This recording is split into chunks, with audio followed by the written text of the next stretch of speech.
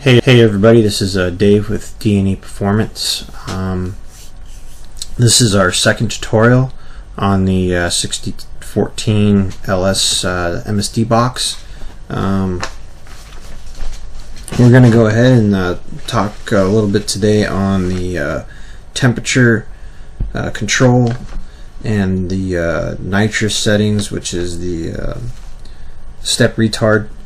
Um, the step retard it's going to be the pink wire that's coming off the harness and that is going to go into either a full throttle switch which is coming off of your intake or carburetor I'm sorry the intake uh, next to the carburetor and or it'll go into a nitrous button which uh, the nitrous button you have a little bit more control of um, full throttle switch. Uh, it's going to go into, uh, of course, the full throttle switch. You're going to have to tee it in there somehow. Um, just make sure that on the instructions, it's uh, very uh, specific about it having at least 12 volts um, to both of those uh, so that the box can recognize uh, that this is um, that hey I need to activate the the nitrous settings Okay, so let's uh, let's move on into the tutorial and uh, we'll go ahead and open up our software.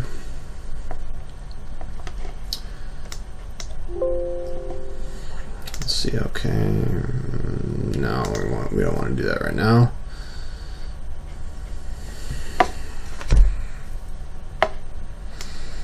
All right, so we'll go to File, Open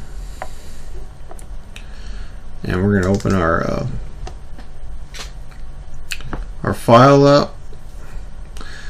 And um, we're going to go ahead and uh, I know this is on the uh, temperature side. We're to go ahead and go to the step retard though. We'll start with our step retard um, settings or our nitrous settings.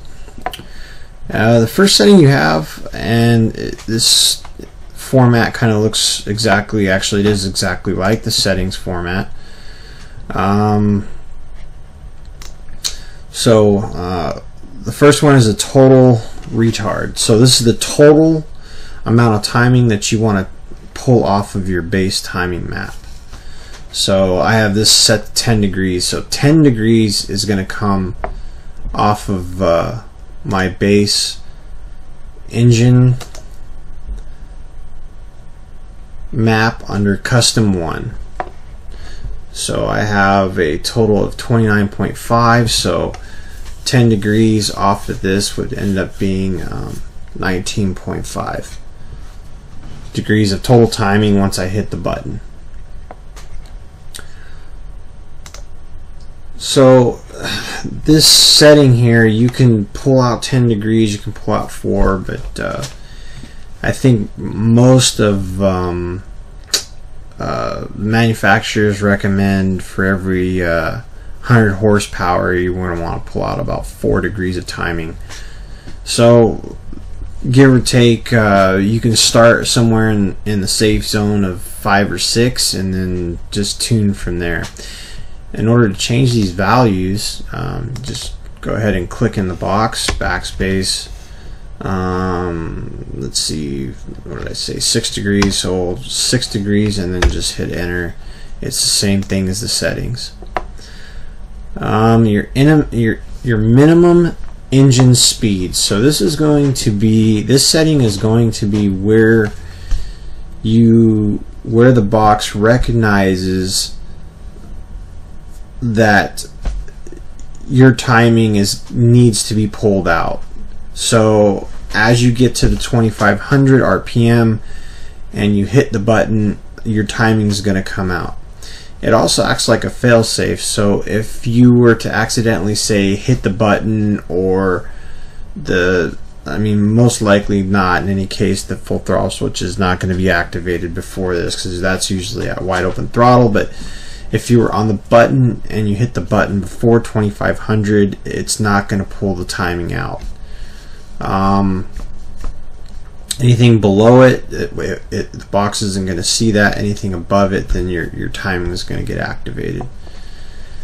And then your uh, your ramp, your on ramp time. So this is the time that it, where the box is actually going to pull the timing out. So instead of pulling all the timing out at once, it's um, it's going to delay the timing coming out.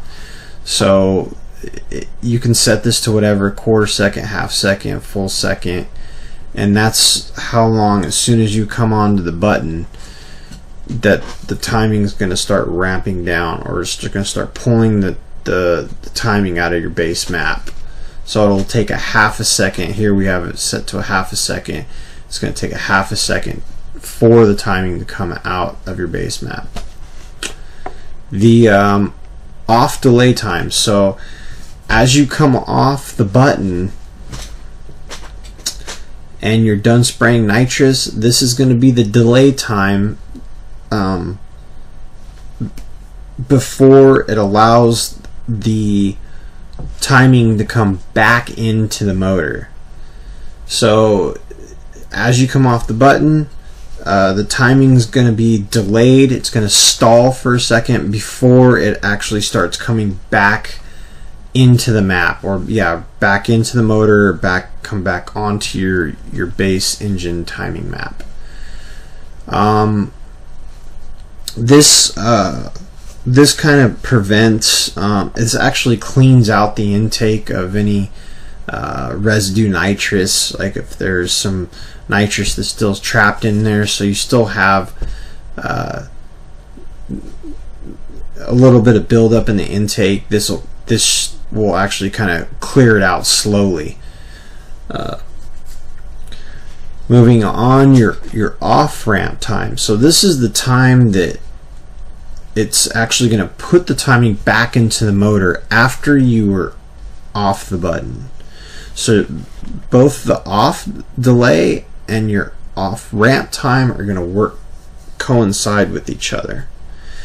This um, the off ramp you can set this to zero to where it will just instantaneously instantaneously put 10 you know degrees or six degrees or whatever you have set on your total retard back into the motor um, or you can set it to quarter second half second you know uh, one second whatever you want before it uh, puts the total timing back into the motor so this is uh, th these are really nice features um, the layout on on the 6014 box is absolutely much better. Um, very very happy and satisfied with um, the way the uh, uh, how easy that the to input all these um, values into this and uh, the way you you even wire it in it, it's fairly simple especially on the harness Alright, let's go ahead and we're going to move on to the next uh, next part of this tutorial and this is going to be the, um, the temperature. Um, so the box has a built-in temperature um, setting and a temperature graph and uh, you can use the stock temperature sensor on the side of the head. Um, there's a uh, can't can't remember if it's a two or a three prong. I think it's a two prong, and it, will it'll plug right into the uh, stock temperature sensor. Um, so this map is pretty much set up just like the engine speed map or your base timing map. Um, I've already kind of got this laid out, kind of showing you what uh, how the graph is probably gonna be set up or how you can set it up. Um, you'll notice that uh, timing versus Celsius.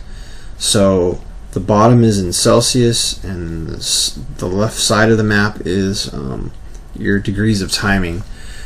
Anything below zero is going to be timing taken out. Anything above it is going to be adding timing into your base map. So any changes made on this map are going to also affect your custom one engine speed map or whatever map you or I shouldn't say map but tables because the other ones are tables any tables that you have uh, set the box to um,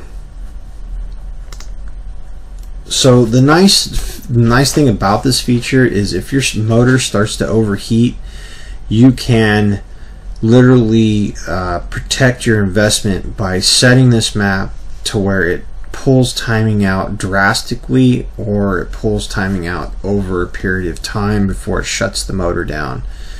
Um, it goes all the way up to 15 degrees, negative 15 degrees. So, I mean, if you pull 15 degrees off of 29 degrees, it's going to pretty much kill your motor or it, it's not going to run at all and it, that makes it it makes it really nice, um, especially if you got you know a lot of money wrapped up into your LS. Um, it's pretty easy. Um, like I said, um, it's going to be in degrees of Celsius, and you can just move the cursor around to wherever you want to set it. So you can either zero this out um, if you want. If you if you feel more comfortable with it zeroed out, um, zero it out and then pick a point on the graph. Um, I've got I've got this one set to uh, 95.1, which uh, it see here. So on this see 95.1, so that's 203 degrees Fahrenheit. Um, that's pretty hot. I usually don't like to see them more than about 195, a little bit under 200, and that's still kind of warm. Um, so what you can do is you can just plot a point on your graph, and uh, you can you can pull, you can take your your line, and either and either somewhat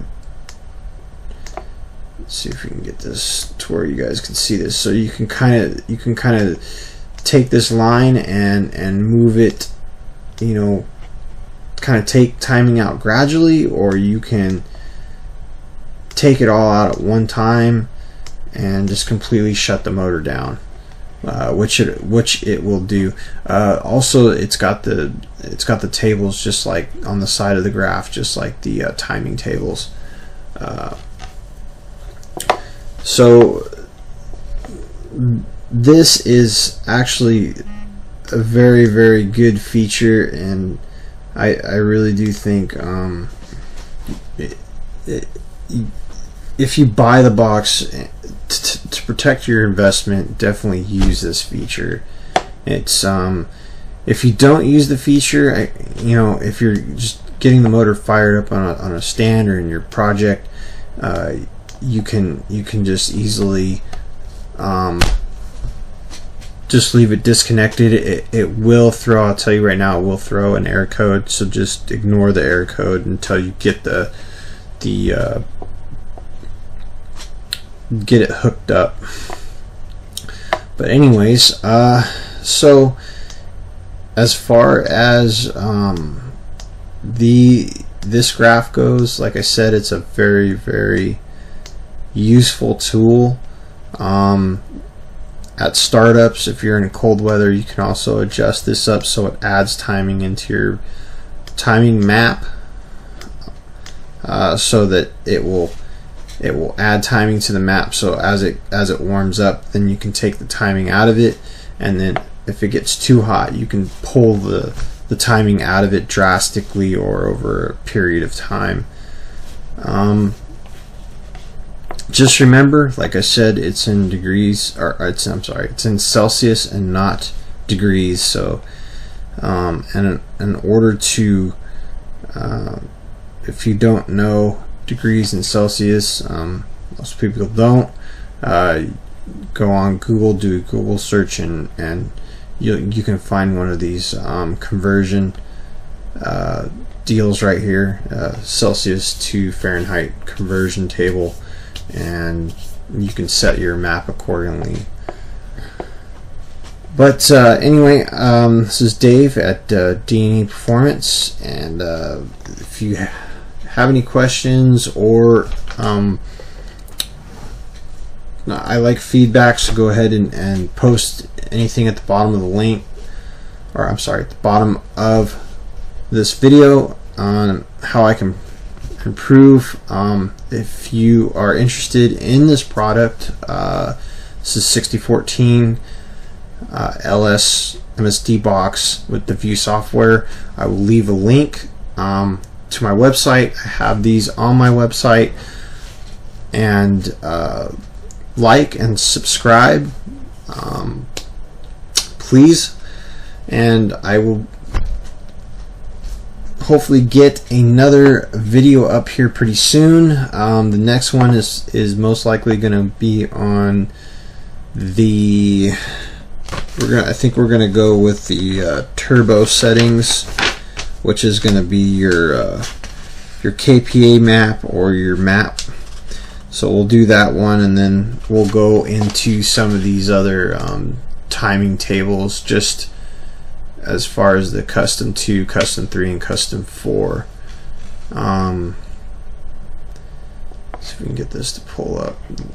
We'll probably get into these uh, these tables here. Um, and uh, kind of discuss this a little bit.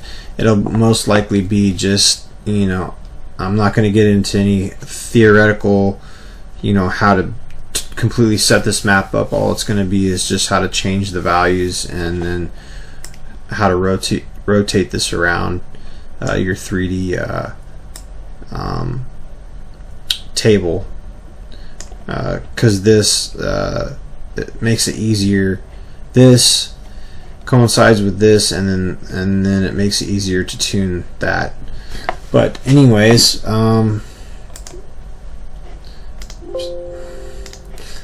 anyways, like I said, this is Dave with uh, D&E Performance, and uh, uh, like, subscribe, uh, give me some info and some feedback. I'm to leave some links at the bottom, and thank you.